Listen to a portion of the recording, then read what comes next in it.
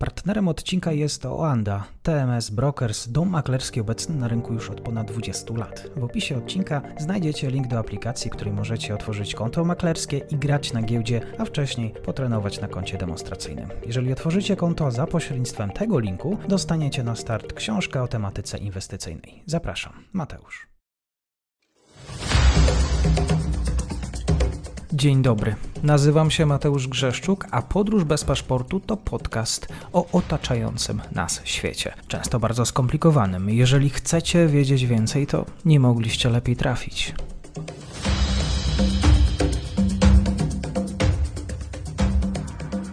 Dzień dobry Państwu, dzień dobry wszystkim słuchaczom. Wielka przyjemność, bo ze mną dzisiaj jest po raz pierwszy dr Przemysław Łukasik z Instytutu Dziennikarstwa i Stosunków Międzynarodowych Uniwersytet Komisji Edukacji Narodowej w Krakowie. Będziemy rozmawiać e, o naszych sąsiadach, konkretnie Niemcy, na tapet. To wszystko w kontekście polityki amerykańskiej. E, dzień dobry, kłaniam się nisko. Dzień dobry, bardzo witam Państwa, witam Pana. No właśnie, ja przyznam, że jestem e, świeżo po lekturze książki, którą Państwu serdecznie polecam, bo też zostałem zaproszony przez Instytut Zachodni do Poznania na temat moskiewskiego łącznika. Nie wiem, czy pan doktor e, kojarzy tę książkę. Jeszcze nie miałem przyjemności. E, polecam serdecznie, bo to jest opowieść o tym, jak Niemcy przez wiele lat w jakiś sposób lekceważyły zagrożenie, jakim jest Rosja. Oczywiście w tle pojawia się główna postać tej książki, czyli Gerhard Schroeder. Autorzy wyjaśniają, jak to wyglądała niemiecka droga ku zależności w kontekście rosyjskim. I pada też takie pytanie e, o w tle oczywiście, e, dlaczego ta niemiecka polityka była taka, nie inna, dlaczego, skąd to wynika, czy może jakaś, jakaś ślepota na to, co się dzieje w Federacji Rosyjskiej. E, okazuje się, że no, wiemy o tym i słuchacze myślę, że też są świadomi, ważną jest elementem ten Ostpolityk, czyli polityka tak zwanego odprężenia ze wschodem, jest normalizacja stosunków ZSRR, ważny też jest antyamerykanizm, czyli ten wątek, który jest w szczególności silny na politycznej lewicy niemieckiej. Jak to wyglądało po czasach II wojny światowej? Jak się te relacje niemiecko-amerykańskie układały? Jeśli chodzi o sytuację na, no, na zajutrz, po, po, po zakończeniu II e, wojny światowej, to oczywiście e, no, nastroje początkowo były wybitnie minorowe jeśli chodzi o, o Niemców, e, ponieważ e, istniały bardzo straszne scenariusze co do tego, co można zrobić z Niemcami. Takie słynne e, powiedzenie przypisywane francuskiemu politykowi Benvillowi, który powiedział, że tak bardzo kocham Niemcy, że chce, żeby były pomnożone, można powiedzieć tak to w wolnym tłumaczeniu, czyli pojawiają się pomysły de facto rozczłonkowania Niemiec, podzielenie Niemiec na wiele wiele części, zamienienie Niemcy w producenta e, kartofli, tak, ziemniaków, to znaczy likwidacja przemysłu, tak, więc e, te wszystkie straszne, można powiedzieć, plany wobec Niemiec zmienia jeden kluczowy faktor, jakim jest zimna wojna, tak, ta zimna wojna która e, można powiedzieć na, na poważnie zaczyna się w 1947 roku, kiedy pojawia się doktryna Trumana, ona sprawia, że można powiedzieć, Niemcy zaczynają być, e, zaczynają być potrzebni. Tak? Tutaj kryzys berliński przełomu 48 i 49 roku w jakiś sposób uzmysławia aliantom zachodnim, że z Związkiem Sowieckim nie można się dogadać i e, to jest oczywiście początek podziału Niemiec na dwa obozy, dwa państwa niemieckie, rok 1949 i oczywiście ten e, początek podziału zimnowojennego, kiedy pojawia się pakt, e, pakt północnoatlantycki. Oczywiście doświadczenia różnych frontów zimnowojennych, tak, czyli najpierw mamy wojnę w, w Grecji, potem również no, sytuacja przejęcia władzy przez, przez komunistów w Chinach, to rzeczywiście uzmysławia Zachodowi potrzebę włączenia Niemców w odbudowę powojenną Europy Zachodniej, w integrację Europy Zachodniej wobec tych zagrożeń, wyzwań, które się, które się pojawiają właśnie ze wschodu. I, I, jednocześnie w tym samym, można powiedzieć, e, nurcie idzie też taki, można powiedzieć, triumfująca narracja, która ona, ona istniała już w czasie II wojny światowej, szczególnie wśród e, tej niemieckiej emigracji politycznej, która znalazła się właśnie w Niemczech z, z Mannem, z Marleną Dietrich, którzy podkreśla, podkreślali, że tak naprawdę no, no Niemcy są pierwszym okupowanym przez nazistów narodem tak naprawdę, tak? I można powiedzieć, to jest też początek później, późnego właśnie podziału na, na właśnie na tych złych, złych nazistów i, i dobrych Niemców, którzy po prostu znaleźli się w takiej, a nie innej, innej, można powiedzieć, sytuacji, tak? Więc początki są oczywiście takie. Oczywiście powstanie niezależnego RFN wiąże się też z, z procesem reedukacji, demokratyzacji, e, która będzie miała miejsce. To jest, można powiedzieć, ten, te, te fundamenty pod ten most przyjaźni e, e, niemiecko-amerykańskiej, tak? Nawet jeżeli dzisiaj mówi się krytycznie o stosunkach z, z, z, USA, to używa się takiego sformułowania. Teraz ostatnio w prasie niemieckiej czytałem o, o USA jako o starszym, niekochanym bracie przyrodnim. O, brat przyrodni, ale starszy i niekochany, to właśnie wśród, wśród tych krytyków, ale to sformułowanie brat przyrodni się pojawia jako takie w, w narracji, w debacie. I oczywiście mamy też dalszą, można powiedzieć, y, możliwość oswojenia się narodu niemieckiego, tak naprawdę taką głębszą, można powiedzieć, z, z tym, czym są Stany Zjednoczone, bo pamiętajmy, że wcześniej te Stany Zjednoczone, mówię przed okresem zimnej wojny, tak, to było państwo, które było bardzo, można powiedzieć, w dużej mierze odległe. I jeżeli odbywał się dyskurs na temat Stanów Zjednoczonych, to miał raczej charakter elitarny. Tutaj taki jeszcze dyskurs XIX-wieczny, który był raczej taką e, autorefleksją. Stany Zjednoczone były pewnym takim wzorcem, e, do czego nie powinny Niemcy zmierzać. Tak? Tutaj pojawiła się, pojawiała się wobec Niemiec słynna krytyka, taka narodowo-kulturalna, tak? czyli te różnice pomiędzy między narodem zbudowanym na fundamencie kultury, wspólnej, wspólnej kultury języka, no i tym drugim na, narodzie, tak zwanym narodzie państwowym, gdzie podstawą budowania państwa była konstytucja i pewne prawa. Tak? Mówię tutaj o, o narodzie e, amerykańskim. A na Stany Zjednoczone intelektualiści niemieccy początkowo właśnie jeszcze przełomu XIX i XX wieku bardziej patrzyli jako takie zjawisko zapowiadające pewne procesy modernizacyjne. Tak? Tutaj Max Weber mówił, że to jest tak zwana, e, mówił o nowoczesności, którą symbolizowały USA, że to jest taka złota klatka jutra, tak, która, która nam zagraża i prędzej czy później ona, e, ona będzie również zagrażała Europie. I ta obawa przed właśnie modernizacyjnym wpływem Ameryki dominowała mechanizmus Gemutlichkeit, tak? czyli takie, takie przekonanie, że te Stany Zjednoczone są rodzajem takiego zimnego mechanizmu, w któremu brak takiego wewnętrznego ciepła, rodzinnego domu, rodzinnego ogniska. Tak? To wszystko, można powiedzieć, to, to był początek. Później oczywiście no, Stany Zjednoczone pojawiły się dwukrotnie jako siła, tak, jak to napisał słynny filozof niemiecki Martin Heidegger, jako siła ahistoryczna, tak, to znaczy w czasie I i II wojny światowej no, USA okazały się tą siłą decydującą, które odebrały y, Niemcom zwycięstwo. A, a, trzeba wiedzieć, że zarówno w I, jak i w II wojnie światowej istniało rzeczywiście takie wewnętrzne, mówię, niemieckie przekonanie, że ten konflikt, czy to będzie pierwsza, czy druga wojna światowa, to jest taki konflikt, który przyniesie światu polepszenie, tak? pewien progres, pewien postęp, nie? Więc więc w tym sensie e, Stany Zjednoczone no, wpisywały się w rolę takiej siły ahistorycznej, która nie rozumie jak gdyby e, dobrego charakteru tego procesu. Tak? Tutaj szczególnie Martin Heidegger, słynny filozof, notabene też e, członek NSDAP, praktycznie do końca celował jako ten, który taki uniwersalny wymiar tego konfliktu przedstawiał, taki w duchu, w duchu filozoficznym.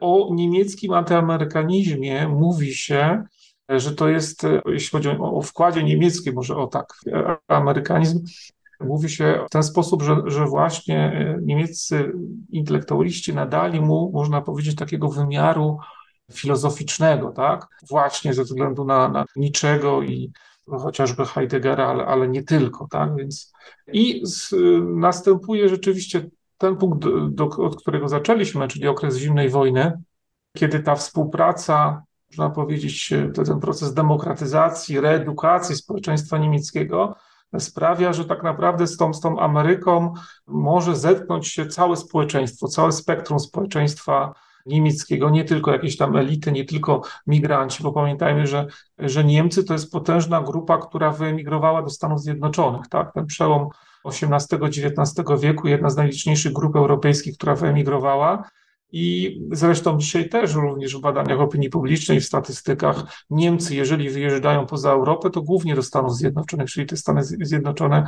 e, można powiedzieć, cieszą się także zainteresowaniem szerszych e, kręgów e, społeczeństwa niemieckiego. No właśnie, jak mhm. społeczeństwo niemieckie też zapatrywało się na tę westernizację tak zwaną kraju? Byli oczywiście, jak zawsze, zwolennicy, przeciwnicy. Wśród tych elit intelektualnych istniało przekonanie, że jednak kultura masowa też w wydaniu amerykańskim ma to do siebie, że niestety spłyca pewne rzeczy. Mamy do, do czynienia oczywiście z, z wymiarem rozrywkowym, natomiast no, jeśli chodzi o ten wymiar edukacyjny, tej można powiedzieć kultury masowej, to wyraźnie nad tym elity oczywiście bolały, co nie zmienia faktu oczywiście, że no pojawienie się Elvisa Presleya na początku lat 60. w Niemczech no, spotykało się z, z niesamowitym oczywiście sukcesem komercyjnym i z niesamowitym, można powiedzieć, przyjęciem społeczeństwa niemieckiego. Jest e, taka książka Cierpienie młodego W, który, które w jakiś sposób e, nawiązuje do, do słynnej książki Cierpienia młodego Wertera, przy czym tu chodzi o bohatera żyjącego w, w Niemczech, tych wschodnich, tak, młody Wibał, który mówi o, o jeansach amerykańskich, tak, że jeansy amerykańskie to nie są spodnie, to jest, to jest światopogląd, nie, czyli to, e, czyli z jednej strony mamy tą elity intelektualnej, starszych, którzy kontestują, ale mamy też tych młodych, którzy właśnie widzą w tych jeansach coś więcej niż tylko spodnie, tak? Jest pewien światopogląd, który za tym się, można powiedzieć, kryje. Amerykanie otwierali w całych Niemczech olbrzymią ilość e, tych tak zwanych American Houses, domów amerykańskich, gdzie rzeczywiście dostęp do filmu, do, do książki amerykańskiej był, był duży. No dzisiaj odpowiednikiem tego są amerykańskie American Cornery, oczywiście w, na całym świecie otwierane, tak, czy American Spaces, tak, więc e, możliwość zetknięcia się z tą kulturą masową, która, jak mówię, no, no, no bywa różnie oceniana w zależności od od tego, gdzie, gdzie spojrzymy. Jeśli chodzi o dwa państwa niemieckie, takie przekonanie się utarło, że w Niemczech Wschodnich można powiedzieć, te Niemcy wschodnie zachowały tą swoją tożsamość, znaczy swoją, no to tożsamość niemiecką bardziej niż Niemcy zachodnie, które zostały całkowicie, można powiedzieć, zamerykanizowane. Istniało właśnie to, to, to przekonanie, które które chyba po dzień dzisiejszy funkcjonuje, że ta niemieckość jest prawdziwsza na wschodzie, co, co, co ciekawe, jako skutek właśnie tego uniknięcia całkowitego zamerykanizowania. Też e, trzeba powiedzieć, że ten proces amerykanizacji może inaczej, demokratyzacji powiązane z amerykanizacją też e, różnie był, był oceniany. Tak? Jest, jest taki literacko piękny obraz, ale w jakiś sposób metaforycznie pokazuje, pokazujący, co się stało z tymi w cudzysłowie wartościami niemieckimi. E, mianowicie e, jest rok 1945, koniec wojny i niemieckie odznaczenia wojenne są sprzedawane przez sowieckich, można powiedzieć, żołnierzy Amerykanom, którzy dają za, za te odznaczenia właśnie niemieckie Lucky Strike'i, tak, czyli papierosy, tak, czyli właśnie takie symboliczne pokazanie, że te wartości niemieckie reprezentowane właśnie przez, przez, przez tych, tych żołnierzy niemieckich tutaj w jakiś sposób symbolicznie zostaną no właśnie tymi amerykańskimi papierosami zakupione, tak? Więc tutaj oczywiście ten obraz on dotyka jednego z, z takiego charakterystycznych elementów antyamerykańskich klisz, mianowicie e, mamonizm i materializm. O, to jest jeden z, jedna z rzeczy, która się pojawia, e, bardzo oczywiście popularna, zwłaszcza po I wojnie światowej, kiedy Niemcy przegrały wojnę. To, to, po pierwsze nie były w stanie zrozumieć, dlaczego Amerykanie włączyli się do tej wojny, która tak dobrze szła, tak, do, do, do rzeczywiście do momentu pojawienia się Stanów Zjednoczonych. Wydawało się, że Niemcy, Niemcy wygrają.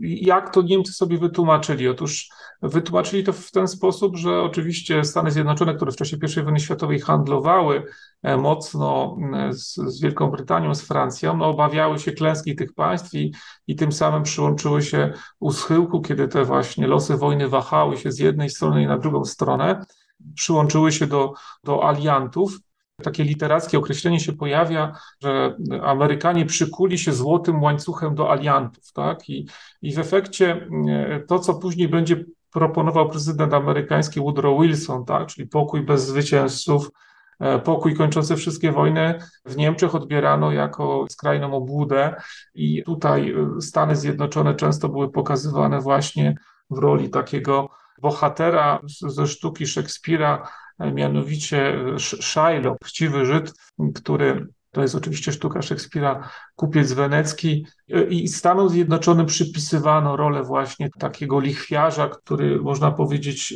kieruje się swoimi interesami. Tak? Stąd oczywiście później to przełożyło się na negatywną ocenę no, tego, co powstanie. Republika Weimarska, pierwszy, y, można powiedzieć, i ten niefunkcjonujący system polityczny, który potem zostanie oczywiście obalony przez dyktaturę hitlerowską, tak naprawdę już na samym początku nosi w sobie odium takiego, można powiedzieć, takiego szalbierstwa, tak, ale kierowanego właśnie tym amerykańskim mamonizmem, tak, kierowaniem się interesami finansowymi. Zresztą bardzo szybko te kalki, one też w czasie II wojny światowej, jak spojrzymy na plakaty propagandowe przedstawiające prezydenta amerykańskiego Franklina Delano Roosevelta jako właśnie rzecznika e, finansjery amerykańskiej, tak, to można powiedzieć, ten, ten symbol tego mamonizmu, kierowania się interesem e, w jakiś sposób tutaj e, taki trwały, zresztą funkcjonujący bardzo długo, bo, bo dzisiaj też można powiedzieć, inkarnację tego możemy, możemy dostrzec, tak? Kiedy Stany Zjednoczone wszczynały pierwszą wojnę w Zatoce Perskiej, to słynne hasła na ulicach niemieckich miast podczas protestów, ile kosztuje ludzka krew, czy, czy właśnie krew za ropę naftową, tak? Tutaj takie hasła e, się pojawiały, więc ten mamonizm, e, on, on jest e, bardzo, można powiedzieć, pojawiający się. Jak zapatrywały się też Niemcy na tę politykę mocarstwową Stanów Zjednoczonych, na przykład w obszarze przez bo też oczywiście nasz temat jest tak bardzo szeroki, tak, tak, ale moglibyśmy opowiadać i spotykać się, rozmawiać tak, tak. przez godzinami, ale biorąc pod uwagę zaangażowanie na Bliskim Wschodzie, też zaangażowanie Stanów Zjednoczonych w krajach Ameryki Łacińskiej, no jakby Ameryka jest tym gwarantem, była przez lata gwarantem bezpieczeństwa dla wielu krajów. Jeśli chodzi o Stany Zjednoczone, mów o okresie wojny, czy po wojnie, po wojnie, mówimy już w okresie między, no, zimna wojna, o tak może. Tak, w okresie zimnej wojny. No w okresie zimnej wojny oczywiście Stany, Stany Zjednoczone, jego potęga militarna, E, to jest coś, co oczywiście, zwłaszcza tutaj Niemcy po okresie wojny koreańskiej 1950-53, to co się wydarzyło właśnie tam w Korei, było takim, można powiedzieć, ściągawką, tak przynajmniej w Niemczech to odbierano, co może się wydarzyć rzeczywiście w Niemczech, tak? To znaczy, że, że, że może też dojść do, do takiej sytuacji, tak? Tam Korea Północna napadła na Koreę Południową, tak, tak samo tutaj może być w przypadku państw niemieckich i, i ta perspektywa można powiedzieć, mocno zbliżała e, do, do Stanów Zjednoczonych. Stąd, e, e, no, można powiedzieć, Republika Federalna Niemiec chętnie ten proces remilitaryzacji podjęła oczywiście i też bardzo mocno zabiegała o posiadanie broni nuklearnej. Tak, tu rzeczywiście pojawiały się takie, takie oczekiwania skierowane w stosunku do Stanów Zjednoczonych, lata 50., 60. Wiemy, że wtedy chociażby Polska w kontrze, obawiając się proliferacji broni atomowej, pojawiały się kontrpomysły, tutaj kontrplany, plan Gomułki i Rapackiego, żeby jednak właśnie Europę Środkową ogłosić właśnie strefą bezatomową. Natomiast później oczywiście, kiedy okazało się, że ta broń nuklearna może wymknąć się spod kontroli, tak, może dojść do, do, do wojny atomowej, to y, można powiedzieć, tutaj pojawia się perspektywa no właśnie obawy przed staniem się y, polem bitewnym III wojny światowej i to tej nuklearnej III wojny światowej. Dlatego można powiedzieć, Niemcy chętnie przyjmują status państwa, które ma wpływ na decyzje amerykańskie odnośnie użycia właśnie broni atomowej. No w latach 60. powołano właśnie w ramach NATO tą, tą właśnie grupę planowania strategicznego nuklearnego, która pozwoliła e, RFN mieć wgląd w te kwestie, można powiedzieć. Ale jeśli chodzi o hegemonię e, amerykańską, e, to istniała cały czas obawa, zresztą która się pojawia, że decyzje pewne Amerykanie będą podejmowali bez udziału Niemców, czy, czy, czy za plecami, można powiedzieć, to są, można powiedzieć, te, te lęki, takie lęki, jeśli chodzi o unilateralizm, tak? czyli, czyli podejmowanie decyzji bez, bez konsultowania. Symbolem tego ostatnio, oczywiście, no, jeśli chodzi o ostatnich prezydentów, był Donald Trump, tak? taki zupełnie człowiek, który podejmuje, można powiedzieć, decyzje zupełnie w sposób i nieprzewidywalny, i zupełnie, można powiedzieć, nierespektujący interesy interesy niemieckie. Natomiast jeśli chodzi o hegemonię amerykańską, to ona szczególnie była poddana krytyce w okresie zimnej wojny w latach 80., to znaczy rządy Ronalda Reagana, kiedy nawrócono do takiej frazeologii zimnowojennej, e, Ronald Reagan porównywał ZSRR do imperium, tak, imperium zła, tak, z którym trzeba, trzeba walczyć, nawiązanie do słynny jego plan Gwiezdnych Wojen, nawiązujący tutaj do, do słynnej sagi George'a Lucasa. I e, rozmieszczanie rakiet w Europie, amerykańskich, sowieckich, to wywoływało na, no, potężny niepokój. Ronald Reagan no, był znany z tego jako też aktor, prawie e, był aktor filmów klasy B, natomiast e, mający też takie, można powiedzieć, medialne zachowania, czasami na, e, na krawędzi albo po bandzie. Słynny wywiad, który udzielał, którym właśnie poinformował, że że za chwilę tutaj rozpocznie e, atak atomowy. Wszyscy oczywiście wpadli w popłoch, no później on wrócił do mikrofonu, powiedział, że oczywiście żartował, że żadnego ataku atomowego nie będzie. Można powiedzieć, że to, to wydarzenie zmroziło zupełnie e, ludzi i sprawiło, że rzeczywiście Ronald Reagan no, niekoniecznie był ulubionym, można powiedzieć, prezydentem amerykańskim, bo, bo rzeczywiście no, ta obawa właśnie stania się tym, tym polem bitewnym III wojny światowej, to, to był właśnie ten potężny niepokój. I to też, można powiedzieć, jest powód, dla którego tak bardzo doceniana jest proces niezwany Ostpolitik, tak? czyli, czyli to odprężenie przełomu lat 60. i 70. Willy Brandt, który właśnie jako lider mm, lewicy rozpocznie proces właśnie dialogu tutaj, tutaj właśnie z Związkiem Sowieckim i ten dialog, e, który zakończy się po pierwsze no, tym, że rzeczywiście doszło do pokojowego zakończenia zimnej wojny, czyli bez rozlewu krwi. Ta e, zimna wojna dobiegła końca, można powiedzieć, jako do pewnego stopnia sukces obu stron. Doszło do pokojowej zgody na zjednoczenie Niemiec, tak?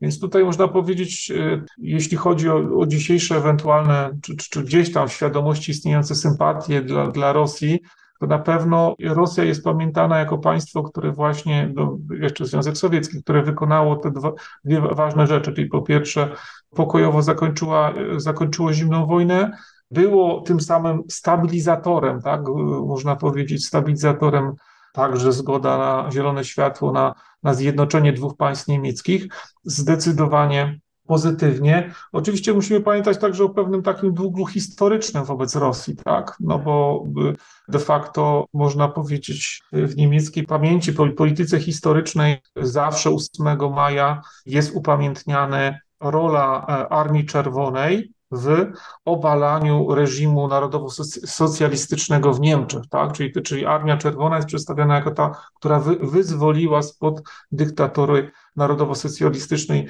naród niemiecki. To jest rzeczywiście historycznie tak ważny czynnik, że dzisiaj zapewne pan zauważył, że w sporej części państw Europy, w Polsce likwidowane są pomniki Armii Czerwonej, tak? Natomiast nie ma najmniejszych szans na to, żeby na przykład w Niemczech usuwać pomniki, czy w Berlinie, czy w innych miejscach, jest ich bardzo dużo. Nawet w czasie, nazajutrz można powiedzieć, po wybuchu, po eskalacji konfliktu na Ukrainie, czyli po lutym 2022, była taka no, śmieszna, nieśmieszna sytuacja w jednym z miast niemieckich Mecklenburgii, gdzie, gdzie jedną z tablic właśnie z takiego pomnika upamiętniającego Armię Czerwoną zdjęto i ludzie wpadli w panikę, co się stało, czy jest demontaż, okazało się, że nie, że po prostu najzwyczajniej w świecie wcześniej była zaplanowana modernizacja jak gdyby tego pomnika, czyli ta, ta płyta po modernizacji wróciła, natomiast tutaj pomniki w momencie, jak, jak wybuchła wojna, pomniki tej Armii Czerwonej, one były obiektem takich, można powiedzieć, ataków, były przykrywane flagami ukraińskimi. Takie slogany antyputinowskie pojawiały się na nim, natomiast dyskursu w Niemczech o usuwaniu tych pomników nie ma na tą chwilę i, i raczej nie będzie. Niemcy raczej są przekonani, że usuwanie pomników to nie jest dobry pomysł, raczej no, trzeba zmienić narrację, sposób mówienia o tych pomnikach, no bo Europa Środkowo-Wschodnia, Polska jednoznacznie uznaje te pomniki jako symbol dominacji y, rosyjskiej. Tak? To było wyzwolenie, które Mówię o 1945 roku. To wyzwolenie, które było początkiem nowej, można powiedzieć w cudzysłowie, okupacji, tak? Więc tak to zdecydowanie widzimy. Co ciekawe, jeśli chodzi o, o historię, Rosjanie nawet na tym odcinku czasami denerwują Niemców. To była taka słynna historia bodajże z tamtego roku, kiedy wydano nowy podręcznik rosyjski do historii, do szkoły średniej, w której pojawiła się informacja, że to zjednoczenie Niemiec wcale nie było zjednoczeniem, tylko było takim, można powiedzieć, kolonialnym wchłonięciem RFN przez NRD, tak? No bo oczywiście w niemieckiej narracji historycznej no, raczej mamy do czynienia z sytuacją w 90 roku, mówią o momencie zjednoczenia, jak tutaj te dwie części Niemiec podały sobie dłoń. I to można powiedzieć, to było taki dwustronny jak gdyby realizacja, natomiast e, w tym podręczniku pojawiła się taka informacja i władze oficjalne niemieckie przyjmują, że rzeczywiście dostrzegają, są takie rosyjskie próby właśnie przedstawienia tej historii niemieckiej w taki sposób, e, można powiedzieć, prowokujący, tak byśmy to określili. Może też nasze spotkanie podzielimy na jakieś dwie części, bo temat jest bardzo rozległy, więc może, może zaproszę pana doktora raz Chętnie. jeszcze. E, ale e, nawiązując, bo tak myślę, że o Schroeder i tutaj lata późniejsze to jest wątek jeszcze na inną rozmowę. E, chciałbym zatrzymać się jeszcze na tych czasach dotyczących lat 84, 82 później, bo mamy Helmuta Schmidta, mamy Helmuta Kohla, czy, czy tutaj e, jak ocenia pan doktor te relacje pomiędzy Stanami Zjednoczonymi a właśnie Berlinem? Wiem, sam Helmut Kohl, no znana jest tutaj jego relacja, czy to z Bushem, czy to z Billem Clintonem. Poproszę o nieco rozszerzenie, może na tym wątku będziemy kończyć. No, te lata 80. one są o, o tyle trudne, jeszcze, raz, no, że to są czasy rzeczywiście Ronalda Reagana, którego no, ba, bardzo negatywnie społeczeństwo niemieckie zapamiętało. Tutaj e, te napięcia, one, one pojawiały się nawet troszeczkę wcześniej, bo jeszcze przed Ronaldem Reaganem był Jimmy Carter i i on również z, z Helmutem Schmidtem miał bardzo, można powiedzieć, takie trudne momenty. Tam doszło do takiego spotkania, po którym chyba Jimmy Carter powiedział, że to było najnieprzyjemniejsze spotkanie, bo zwykle politycy mówią, że takie bardzo przyjemne spotkania. Akurat to było najnieprzyjemniejsze spotkanie, jakie miał w swoim życiu, to właśnie spotkanie z, z Helmutem Schmidtem właśnie pod koniec lat 70., kiedy no właśnie, z czym to wiązano? Ja, ja, pamiętam, że e, interpretacja była taka, że oczywiście Niemcy ze względu na, na ten tak zwany Wirtschaftswunder, tak, czyli taki niemiecki cud gospodarczy, który przypisywało się politykowi e, Ludwikowi Erhardowi, one poczuły się, można powiedzieć, silniejsze jako państwo. Tak? Ten niemiecki cud gospodarczy, wzrost gospodarczy można powiedzieć, napawał dumą Niemców, tak, jako że, że był to taki sukces, z którego mogli być, być, być dumni, tak, i tym samym można powiedzieć, ich oczekiwania wobec partnera amerykańskiego były znacznie większe. I tutaj szczególnie dochodziło w sytuacjach właśnie takich, chociażby wojna, wojna wietnamska i część personelu amerykańskiego było przerzucane na przykład e, do Azji e, i e, Niemcy reagowali nerwowo, tak, że rzeczywiście te, te przesunięcia mogą no, wywołać takie poczucie, że Niemcy zachodnie są wystawione na ewentualny atak właśnie ze strony Układu Warszawskiego, który to Układ Warszawski przez, przez znaczną część zimnej wojny miał przewagę, tak, jeśli chodzi o siły konwencjonalne, a jeśli chodzi o o, o broń e, nuklearną, tak naprawdę to jest pewien paradoks, ale e, w momencie, kiedy, kiedy upadła, upadało ZSRR, tak naprawdę znaczy kończyła się zimna wojna, ZSRR miała poważną przewagę, jeśli chodzi o właśnie i, i, i głowice nuklearne i, i, rakiety. Jeśli chodzi o relacje Schmidt-Reagan, tutaj trzeba wspomnieć chociażby o, o napięciach związanych z wprowadzaniem stanu wojennego w Polsce. Tak? Tutaj wprowadzenie stanu wojennego wiązało się z poważnymi restrykcjami nakładanymi na zarówno polityków sowieckich, jak i polskich przez administrację amerykańską. Natomiast Helmut Schmidt i Niemcy w ogóle od tego się dystansowały. To już pierwszy taki moment, że jak miały tutaj, można powiedzieć, Niemcy możliwość zamanifestowania swojej lojalności wobec tego amerykańskiego partnera, to przykład chociażby tutaj lat 80. pokazuje, że Niemcy już walczą o pewną dozę niezależności, tak? To znaczy nie będziemy wypełniali scenariusza, który gdzieś tam został napisany w Waszyngtonie, tak? Ponieważ nie jest to w naszym interesie, tak? I tu, tu można powiedzieć, od tych lat 80. rzeczywiście dostrzeganie benefitów właśnie wcześniejszej Ostpolityki, szukanie właśnie takiego zbliżenia właśnie z, ze Związkiem sowieckim, tym samym nie, broń Boże, nie zadrażnienia tego wchodzeniem w jakieś tutaj dyskusje na temat Solidarności Polskiej czy respektowania praw człowieka po wschodniej stronie żelaznej kurtyny, tak, gdyby tutaj tego chciano uniknąć. Wielkim sukcesem Helmuta Kohla, jeśli chodzi o lata 80., na pewno jest niemiecką politykę historyczną, to jest słynna wizyta Ronalda Reagana w Bitburgu, wizyta, która miała być hołdem złożonym e, żołnierzom walczącym właśnie u amerykańskim, wokół żołnierzy niemieckich. No, niestety okazało się, że na tym cmentarzu są też żołnierze SS, którzy tam zostali pochowani. I ta wizyta Ronalda Reagana w Bitburgu spotkała się z potężną krytyką, tak? jeśli chodzi o, o, o właśnie, można powiedzieć, zrównywanie pewnej odpowiedzialności historycznej, zrównywanie tych żołnierzy walczących Wehrmachtu, walczących w tych oddziałach SS, czyli tych nie pochodzących z poboru, tylko walczących tam e, w sposób ochotniczy, więc, więc tutaj e, na pewno jest to potężny, taki symboliczny, pamięciologiczne, bardzo ważne, ważne wydarzenie. Drodzy Państwo, zachęcam do tego, żeby zostawić w komentarzu e, swoje pytania. Być może będą mieli Państwo pomysły na to, jakie wątki rozwinąć. Tymczasem bardzo dziękuję za dzisiejszą pierwszą część.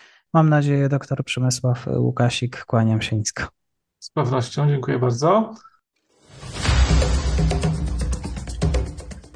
Dziękuję serdecznie za odsłuchanie tej audycji. Zachęcam oczywiście do kliknięcia subskrybuj, obserwuj oraz wsparcia mojej pracy na serwisie Patronite.